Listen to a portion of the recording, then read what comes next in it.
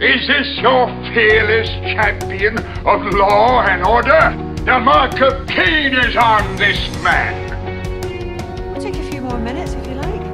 Knock yourself out. Actually, do do that. Knock yourself right out.